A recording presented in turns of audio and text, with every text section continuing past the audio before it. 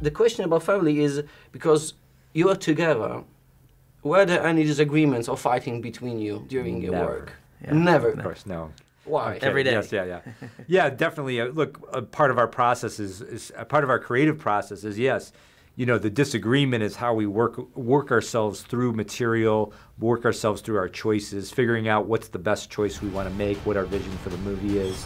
You know, that's a that's very much a part of our process. You know, uh, one time we had a friend of ours, a director friend, sitting behind us at the monitors where we direct at, and he was listening to us through the day, and he said, "Oh my gosh, it's so strange to listen to you guys talk to one another throughout the day because it's like it's like the conversation that I have inside my own head when I'm directing, but you guys externalize it." So I think I think yeah, all artists go through a process of of second guessing themselves, testing their material, twisting it this way, twisting it that way. I mean, that's part of part of the creative process, and we're able to do that externally with one another uh, and work ourselves through through complicated ideas. Let's imagine that you need to choose one of the superheroes that you are.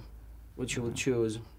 I choose Spider Man. That was my favorite character growing up. I collected comic books from the time I was ten, so you know that that uh, that that that's that's who I'd pick.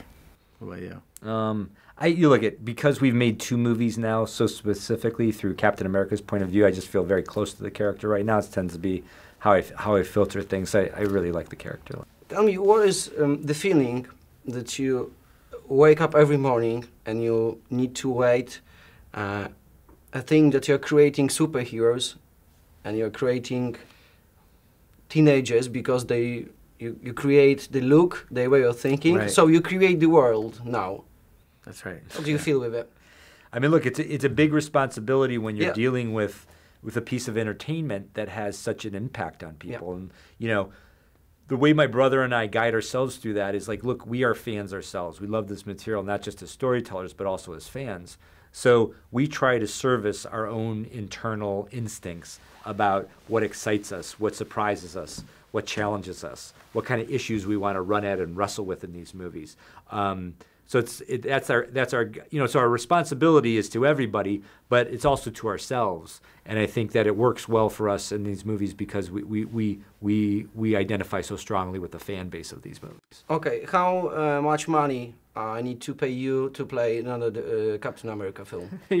Which what character do you want to play? Any, any, then anyone. Captain Yeah. America. How about five dollars?